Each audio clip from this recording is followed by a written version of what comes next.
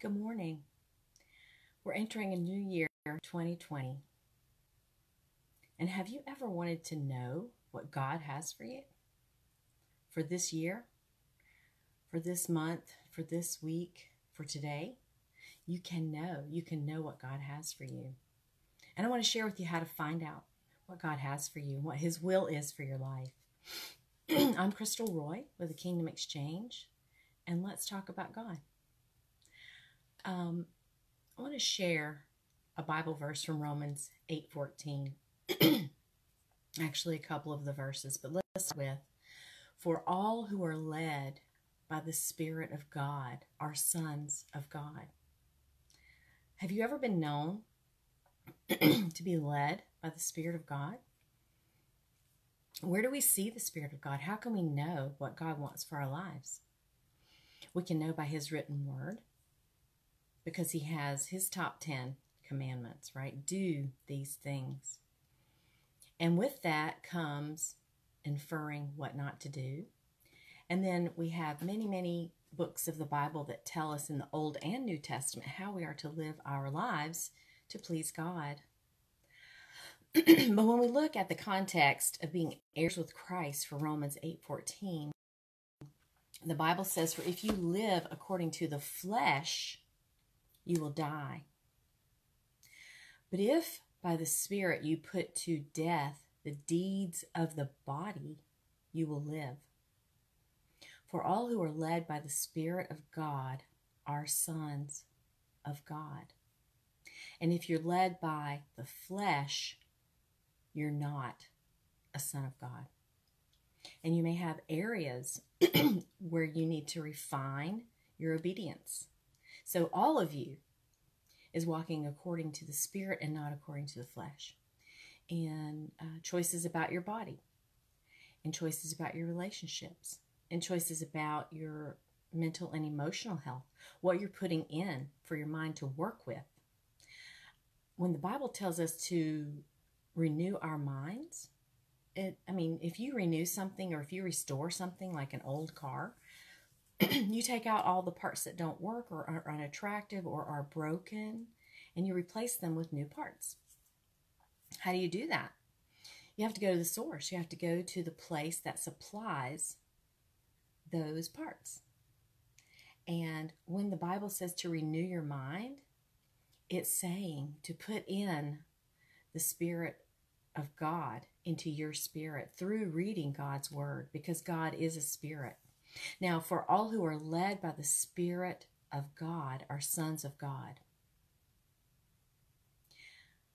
So that means I'm led by love because God, who is a spirit, is love. So everything I do, everything you do, should be based in love. And what is love? You know, man has debated what is love for centuries. And we know a great picture of love is a mother who will get up all night long if needed to change a baby's diaper, to nurse a baby. But what does it mean outside of these things? What does it mean once your children are older? What does it mean at work? What does it mean in your other relationships? What is love? I want to share an experience I had one weekend. This has been 12 or 14 years ago. and I, um, I had a long weekend at work. I was working with an Arabic guy on Friday. On Saturday morning, I had breakfast with a Persian man. On Saturday afternoon, I went to a Russian wedding.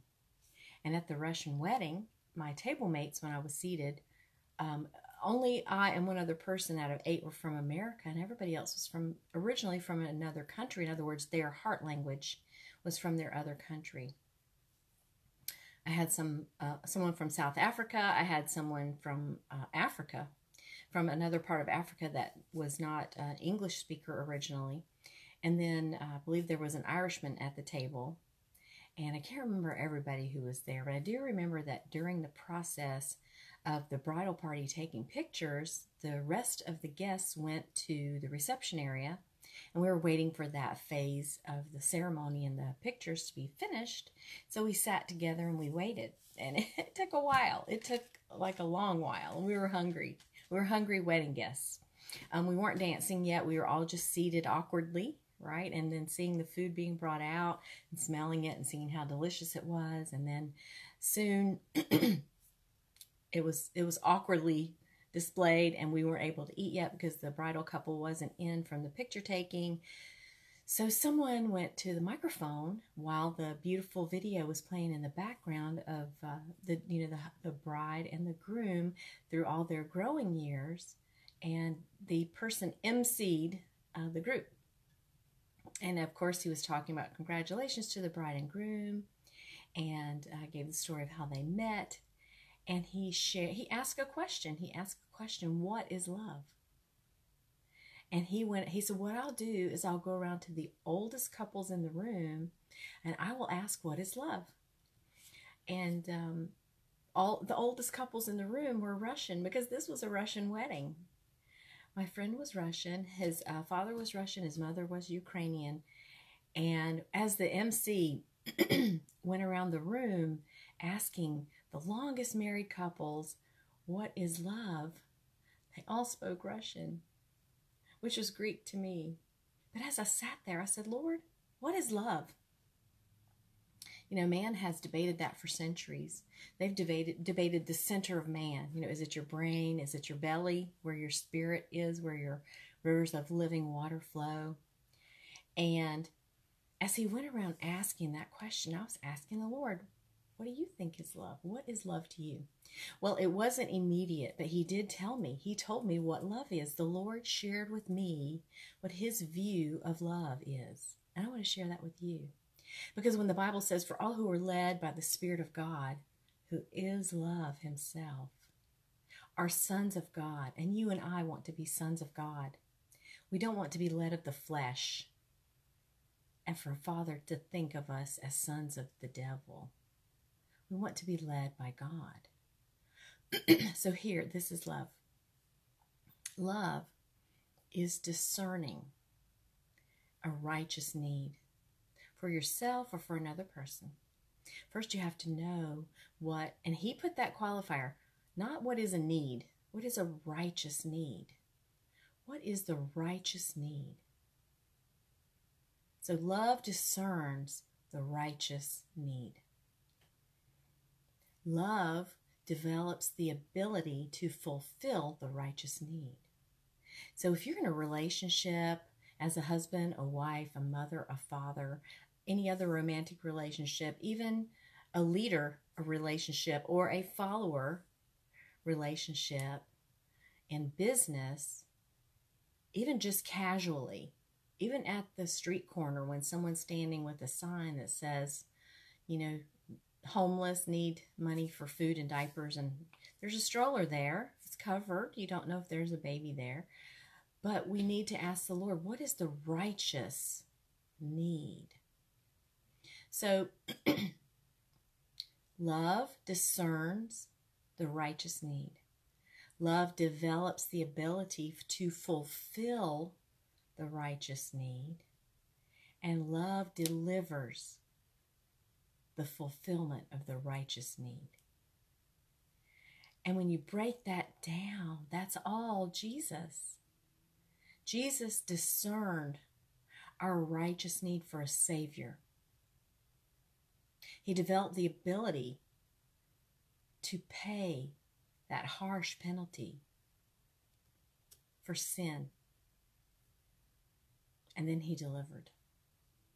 He delivered himself upon a cross and fulfilled the righteous need for a Savior for all time, for time back, for time forward, and for time now. So when you and I are led by love, by the Spirit of God, we are sons of God. So, how will you lead you? How will you lead yourself this day? In love. You will discern for yourself your righteous need. We all have the basic needs food, clothing, and shelter. What food? What clothing? What shelter?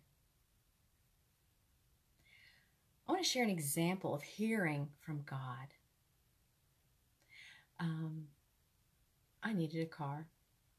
Uh, my last son was going to college, and I did not want him to be married to a car payment, and my car was paid off. so my husband and I talked about it, and we agreed to give him my car. But that meant I needed a car. So I said to my husband, um, you know, do you remember Robert Rummage from church? He shared about God speaking to him specifically about a vehicle. And I said, let's try it. And he said, okay. So we sat down together and we asked the Lord, what car do you have for us? now, this was brand new, and this was in a new marriage. I'm going to say one or two years married. And I wanted to walk hearing from God. I wanted to be like the Bible says in Romans 8:14, for all who are led by the spirit of God are sons of God. That's my top priority in life. I want to be led by God and I want to teach others to be led by God. And Jesus said we would be known as his disciples by our love for one another. Love one another, for love is of God. And love then is discerning the righteous need, developing the ability to fulfill the righteous need. So, if you have a kid with special needs, you've got to develop the ability to teach them in an effective way, right? And then delivering the fulfillment of that righteous need, which means don't hold back. Don't hold back your skills and talents. Um, not to shame anybody, but I heard someone one time say that if I ever marry again, I'm not going to let my husband know I can cook. That's not love. That's the flesh. We need to avoid that. the only way you can know if you're walking in love or in the flesh is to label it, right? So, if we're going to show the world that we're Jesus' disciples, it says the world will know. So they will know you are my disciples by your love for one another. That means to be led by the Spirit, to discern, develop, and deliver the righteous need. That's love. But when you're in the flesh and you're in fear, you're in fear for yourself you will not make decisions out of discerning a righteous need. You'll make wrong decisions. And maybe you've made some wrong decisions this past year, the last two years, with, um, you know, our extreme odd environment with the COVID situation. It's, it's really presented a lot of fear. And then there are other things not related to COVID that we can walk in fear. and we don't want to walk in fear. Fear causes us to do very bad things to ourselves and to others. It causes us not to hear from God. It causes us to wrongly divide the word of truth. The Bible says that we should study to show ourselves approved unto God, rightly dividing the word of truth. And you know what? Jesus himself had to grow in wisdom and stature and in favor with God and man. And if Jesus had to do that, how much more do we have to do that? That we have to grow in wisdom, in stature, and in favor with God and man. So when we look at that, Jesus is growing in wisdom. So he's getting knowledge and he's applying it through the eyes of love, not the flesh, Wisdom is using knowledge through the eyes of love. So you can know something, but how you apply it can be fleshly, which is not wisdom, or it can be through the eyes of love, uh, uh, applied appropriately. That is wisdom. And we know Solomon was the what the Bible tells us was the wisest man and the information he got from God, he was hearing God as he moved along in his life. And one great example of that is when the, the two women brought the baby um, to Solomon, and the one woman charged the other woman with stealing her baby. And we found that uh, the one lady said, you know, her baby died in the night, and she stole my baby, and this is my baby. And Solomon had to have heard from God because this is the information he had, but his solution did not come from anything he had known. So he said, Okay, let's cut the baby in half. and the real mother said, No, no, no, no, no, no, no, no, no, no, no, no, don't do that. Just give her the baby. He used wisdom to hear from God.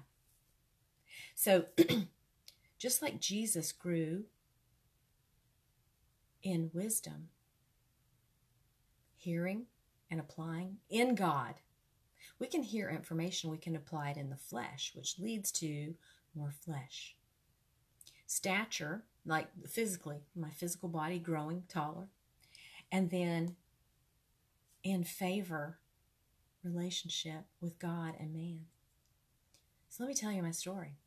So my husband and I sat together and we needed a car. And I said, well, you know, let's do what Robert Rummage did and let's hear from God about a car. And he said, okay. So I had my notebook and he had his notebook. He has a notepad, his yellow notepad. And we asked the Lord to speak to us, to tell us about a car. Now, previously in our marriage, even before we were married, we talked about a car. I still have those original notes from our discussion where we listed this car and that car and even colors and um, there's an Acadia, I think it is, or Arcadia is a vehicle, and basically we said maybe we'll get the Acadia in red. And um, that never happened. We went a new direction. And anyway, here we are needing a car, sitting together, praying to the Lord and asking for Him to speak to us about His will for the car. Now, do you think God cares about what you drive? He does. He wants you to have something very functional, um, and you know whatever suits your needs. You know, lifestyle, all, all everything. God cares about everything. He cares about um, where you live. In fact, the Bible says that God has appointed you to live in a specific place, and He has ordained that for you. And I'm going to challenge you to get there because He's got a great assignment for you from there. But don't run. Don't run. You might not like it at first, and there may be things happening. But I guarantee you, God will move your heart. God will move and change your heart. He will put in you the desires of His heart for your heart so that you can will to do His will. That's what the Bible says. That God lives in us as Christians to will to do His will. And that's what I want to do. I want to surrender to the Lord to do His will for today. And we're coming to the head of the year, January 2022. You can know the will of God for your life. I'm teaching you now how to do that. So, my husband and I sat down, we prayed, and I hear something pop in my head Toy Story. Like a cartoon? Okay, Toy Story. Because I've learned, I've been taught, capture your thoughts, right? Take every thought captive and make it obedient to Christ. That's Bible, right? So I wrote down Toy Story. And then I heard van. And I'm like, eh, I don't want a van. I wasn't even a grandma yet. I'm like, I don't want a van. And then I heard license plate. I was like, oh, okay, so what's on the license plate of the Toy Story van? I didn't know. So I looked it up. I Googled it, A113. A cute little story goes with that, that um, the Toy Story developers, designers, Pixar, Pixar is the company, um, that the folks who worked on Toy Story and other movies, Pixar movies, learned their craft in room A113. So in every movie, they honor that by putting it somewhere on um, house number or classroom, or in this case, van license plate. So I was like, oh, so cool. I learned something very sweet and charming about Pixar and those who had studied their craft and were making beautiful kids movies that I also enjoy. And I said, oh, okay, but what does A113 mean related to a vehicle? So I Googled A113 vehicle. Wow. God was about to surprise me. A113 B- vehicle is a concept car BMW for $300,000. Well, I knew the $300,000 wasn't my car, but BMW. So I wrote down BMW. And so at this time, I was kind of glancing over to my husband's yellow pad, and he hadn't written anything yet. So I was a little bit concerned. So I was patient and I waited and I waited and I waited, and he still hadn't written anything down. And he's looking like, you know, he's thinking through something. I said, Hey, are you getting anything? He said, Hold on a minute. I see it. Oh, I was so excited because I hadn't seen anything. I had heard. I captured my thoughts and I asked the Lord, What does this mean? What does this mean? What does this mean? And I found out that it pointed to BMW. Well, now was the time for proof, right? Do you remember geometry in school when you had theorems and proofs? I was actually very good at that, ironically. but I asked my husband, What are you seeing? What do you see? He said, Hold on, hold on. Okay, so I said, Okay. So I waited. And he said, um, It's not really gray or silver, but it, it like reflects the color of the sky. So he said, Wait, wait, I'm walking around it. I am walking to the front of it so I can see the emblem on the front. So when he got to the front of the vehicle, as the Lord was showing him, he said, Oh, it's a BMW. And he did not know what I'd written on my paper. So I said, Oh my gosh, I can't believe it. The Lord has told us both the same thing, but in very, very different ways, right? So the Lord speaks to you in one way, and, and maybe your wife or your husband or um, your friend you're partnered with as a prayer partner to, in, in the way that you receive information. Now, I'm also a seer. I see things and then the Lord speaks to me in words. But as we approach 2022 and we want to be led by the Spirit of God, according to Romans 8:14, we want to be responsible for how we walk into that year. So I want to challenge you to get with God and to ask Him whatever questions that you need. Whatever questions are on your heart, He will answer you because the Bible tells us, the, the Word says in the Old Testament, which is also valuable and very important call unto me, and I will answer you and show you great and unsearchable things you do not know. So they won't, you know, the answers won't be available even through Google. The Lord will tell you. And God wants to bless us with having us walk in His way right? And if we are walking according to the will of the Lord, then it will go well with us. That's what the Bible says. Jesus said, "If you uh, if you love me, you will obey what I command." So how can we know what Jesus commands? Of course, we have the word of God. But what about my life today? If we ask him, he will tell us. Because the word says that. And the Bible also says in the Old Testament, which is as valuable as the New Testament, the Bible tells us that God says, I know the plans I have for you. Plans not to harm you, but to prosper you and give you hope and a future. So, what loving father would have plans for his child? Plans not to harm him, but to prosper him and give him hope and a future but who won't tell him? No one. That's not love, right? Remember, love is discerning the righteous need, developing the ability to fulfill the righteous need for that other person, and delivering the fulfillment of that righteous need. So let us love one another, for love is from God. And that's how we're led by the Spirit. So when we say, Father, I love you, I'm not just coming to get something from your hand, but I want from your heart. I want to be an extension of your heart on earth as it is in heaven. What are we doing today? What's my assignment? That's my that's my goal is to fulfill my assignment on the earth for the Lord, for his will to be done on earth as it is in heaven. So for January of 2022, I want to talk to you a little bit and touch on something, and we'll do more next week on New Year, New You. How are people experiencing you in their lives? Now, I personally believe that there's always room for improvement, and I believe that improvement should come from the Word of God. There are lots of theories out there about things, and I do believe that God gives every man, man and woman, every man gifts to be used for his kingdom, but not everyone has surrendered to that yet. Um, there are people who, from other religions, whom God has given gifts, but they have not learned who God is to surrender their lives to Him. So, my desire is, Father, use me to enlarge your kingdom. I want to plunder the gates of hell that no one else goes there. And the Lord has used me to do great things like that. And I've seen great, great fruit. I've seen harvest, harvest, harvest. And um, that's what um, my, my book is about a walk between two worlds. And I'd love for you to get that. It's a love story. It's a love story of God for, for fallen people. It's a love story of God for misjudged people.